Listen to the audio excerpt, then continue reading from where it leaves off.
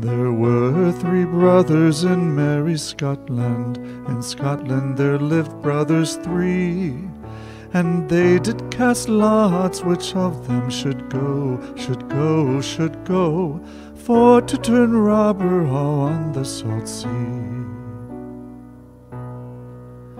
The lot it fell first upon Henry Martin, the youngest of all of the three that he should turn robber on the salt sea, salt sea, salt sea, for to maintain his two brothers and he.